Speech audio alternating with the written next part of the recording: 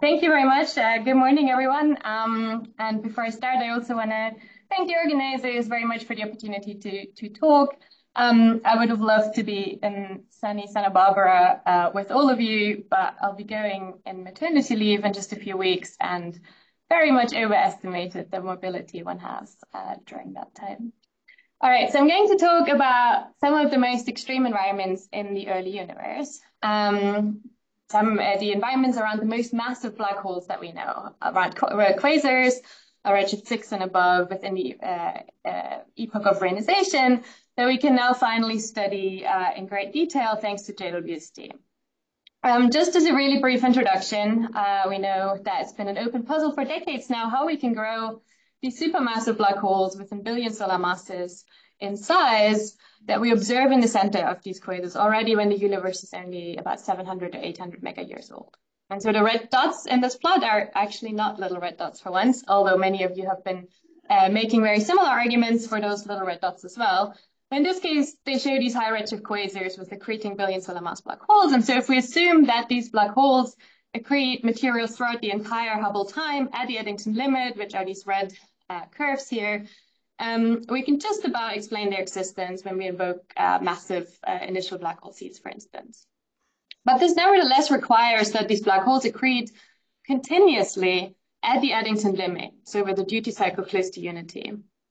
Um, but we have seen from simulations that it's actually really challenging to sustain such high accretion rates over long periods of time. And therefore, the duty cycle of these redshift quasars is actually unlikely to be unity, which, which further complicates this problem. Um, and an immediate consequence of the statement that the duty cycle needs to be unity is that quasars um, are predicted to reside in the most massive dark matter halos that are out there at these early cosmic times, simply because if we had many more host dark matter halos that could potentially host uh, massive black holes, um, then we see quasars, the duty cycle would be less than one. And so um, again, from simulations, um, like this one here by Tiago Costa, um, we expect um, these, these black holes, these massive black holes, these quasars, um, to really reside in the most overdense regions in the universe and the, in the highest density peaks of the early universe with an abundance of smaller black holes and galaxies in the nearby environment. And so ever since the discovery of the uh, first high redshift quasars, now almost two decades ago, um, people have been searching for this predicted abundance of galaxies in the environment of the quasars um, to be able to, to constrain the duty cycle and the dark matter halo masses and, and try to explain um, the very rapid black hole growth. Now, with JWST, uh, we can finally study for the first time these very, very faint galaxies in the environment of high redshift quasars, which is what we did as, as part of the EIGER survey. And so this is one of the quasar fields that we observed around the most luminous um, quasar known in the high universe, J0100. Um, we observed this with the NIRCam imaging in, in the three different bands, but also with the GRISM, so we get a spectrum of, of every object in the, in the sky. And then we're looking for this particular feature, namely the um, doubly ionized uh, oxygen emission line doublet that allows us to securely constrain the, the redshift of all the distant galaxies within the environment of the quasar. And so these observations revealed an absolutely incredible number, really, of 180 high redshift galaxies in this in this quasar field and around the redshift of the quasar. So everything that's circled in blue are galaxies that are just a little bit in the foreground of the quasar. Um, from our point of view, obviously, everything that's circled in white-ish are galaxies that are in the immediate vicinity of the quasar, so exactly the same redshift, more or less, as the quasar. And then everything that's in red are galaxies that are in the background of the quasar from, from our point of view. Um, and so in total, we observed six um, of these quasar fields at redshifts around uh, six to seven. Um, and so there's a whole um, range of science uh, one can do now with this. Valentina already mentioned the, the absorption line studies, the metal absorption, absorption lines and the Lyman alpha forest.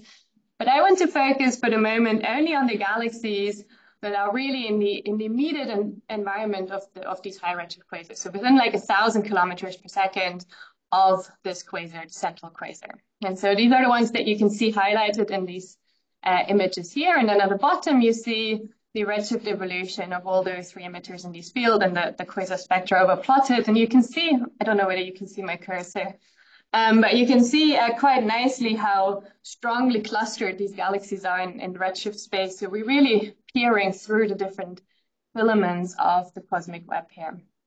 And then this quasar on the right is, um, has almost 50 galaxies in the environment of the, of the quasar. So it's one of the, the uh, biggest protoclusters in the epoch of ionization that we know to date and really resides in one of the most overdense regions um, that, that, that we have with those high redshifts. Um, but on the other hand, we also find quasars like this, these two here, but in particular the one also again on the right, where only two, two galaxies um, are roughly at the same redshift of the quasar. Um, and so uh, we just basically, yeah, it has, it has, the same density as an average field of the sky, basically. If you look at any other region, you would expect roughly one or two galaxies there. And so the variance, the, the cosmic variance between these different quasar fields is, is huge. Um, but thanks to the overall large number of galaxies that we can now securely place at the quasar's redshift, we can for the first time now measure the, the quasar-galaxy cross-correlation at uh, redshift 6 and study the clustering properties, infer their host dark matter halo masses and their duty cycles uh, for these high redshift quasars. And so this is what we did. You see the measurement of this cross-correlation function as a function of, of the transverse separation here on the, on the left. The black data points are our measurements, and then the lines show where we would expect these measurements to lie, given a characteristic mass of the host dark matter halo masses. And so we get these lines from the Flamingo 10K suite of dark matter only simulations. I think Elia Pizzati will talk more about these um, in the afternoon. And you can see that the best match between the observations and the data is somewhere around 10 to the 12, maybe a few times 10 to the 12 solar masses. And that implies that these luminous high redshift quasars do actually not necessarily occupy the highest density peaks. In the universe, the most massive dark matter halos that exist are redshifts. Uh, these redshifts are 10 to the 13 solar masses and above, and our, our best match is, is nearly an order of magnitude below that. It also, in turns, then imply that the UV luminous duty cycle of these high redshift quasars is low, right? So if you compare the number density of observed quasars to the number density of these host dark matter halos that we get from lambda CDM once we have a mass of these host dark matter halos. That roughly tells you the number of galaxies that currently host an accreting supermassive black hole in their center, which is equivalent to the quasar's duty cycle. Um, all right, so how low is the duty cycle exactly? Let me actually add those high redshift measurements here as well. So what you're seeing in this plot is the duty cycle um, as a function of redshift.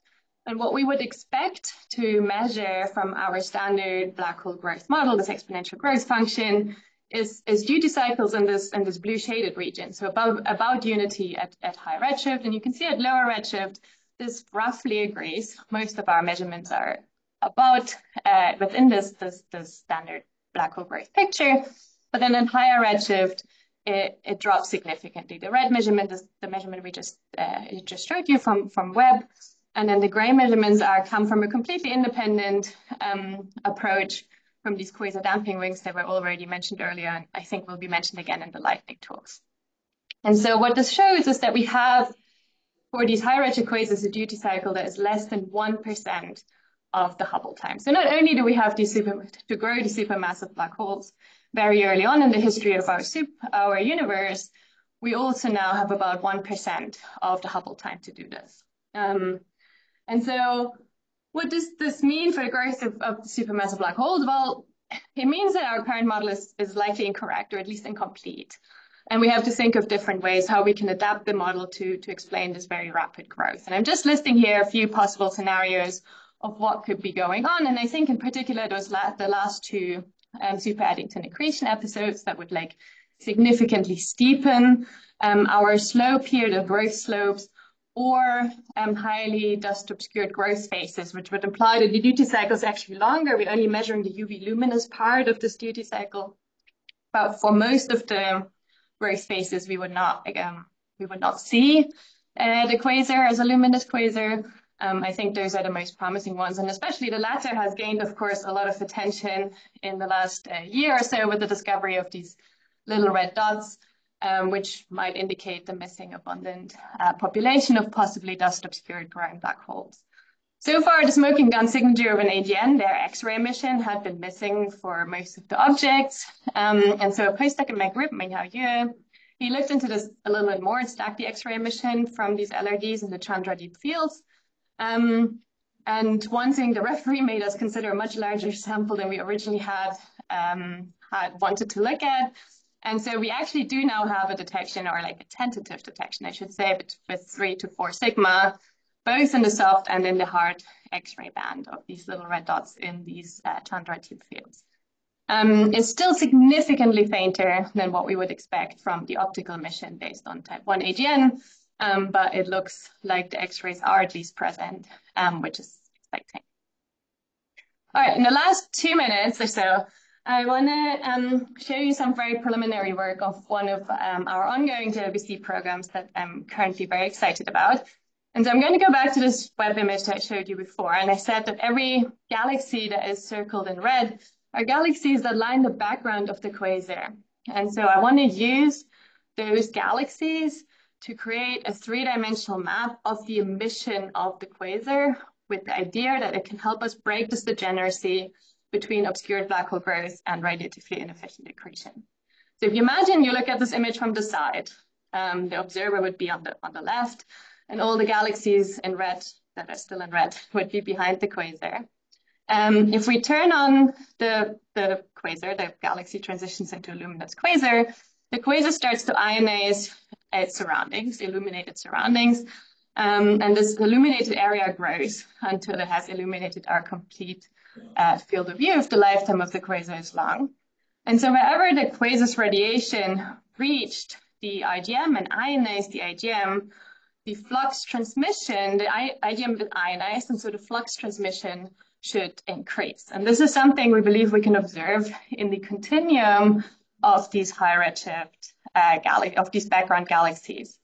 Um, so if we look at this in a simulation, we expect this three-dimensional map of the quasar's radiation to look different depending on which processes drive the growth. So if the quasar's lifetimes are, are short, we should only see a small illuminated area, whereas if the quasar's lifetime are longer, but possibly obscured in some direction, and it doesn't necessarily have to have this biconical shape, we should see a much larger, but maybe patchy ionized region.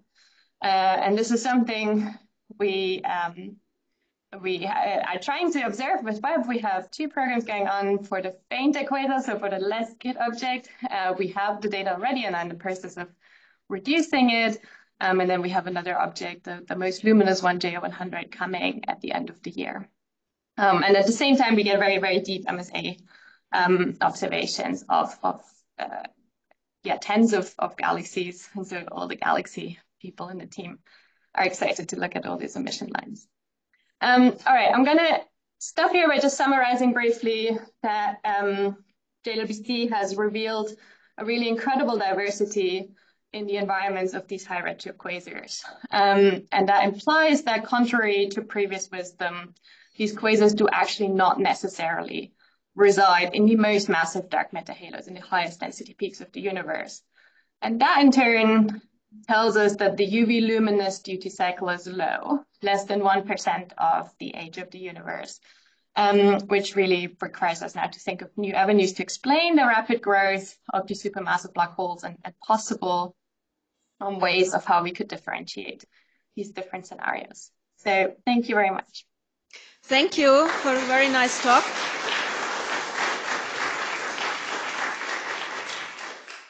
Other questions? Yes, let's start down here. Hi, Anna. Thank you for a great talk. This is Aklant. So uh, relating to the fact that uh, you find that luminous high Z quasars do not necessarily reside in the highest density peaks, there's some work uh, with simulations, particularly from Tiziana's group, which showed that um, aside from the density of the over density of the peak, there's also higher order derivatives of the matter density field that can significantly impact the black hole growth, such as uh, low tidal fields and then high compactness. I was wondering if that's uh, something that you could explore from your quasar galaxy cross, cross correlations. Yeah, good question. Um, so far we haven't yet. Um, maybe that's the shortest answer for this. Um, but it's something I think we can look at, especially if we have a larger sample. And uh, as many of you know, there's the Aspire. So I only looked at six quasar fields very, very deeply um, with a large mosaic, but then there's also Aspire coming um, or has already been observed, um, which looks at a much larger sample of object of 25, I think. Um, and so I think then we can start to look into more uh, more carefully into these differences in the environment and and uh, and maybe also take the velocity fields because obviously if we if we go back to uh, this like you you can see that like, you know that you can have well for the for what we took was only the number densities right? It's just the number of objects as a function of distance from the quasar there's a lot more information uh, in this data set and you can look at like the, the relative offset of these or yeah the relative offset of the galaxies with respect to the to the quasar and try to reconstruct um, more carefully the velocity field around that. So yeah. Thank you. Other questions? Yes. Thanks for a really nice talk, Christina. This is Priya. so I was very, uh, just a comment, want to point out that, you know, by this redshift between 5.5 and 6, these black holes are actually well away from the seeding epoch.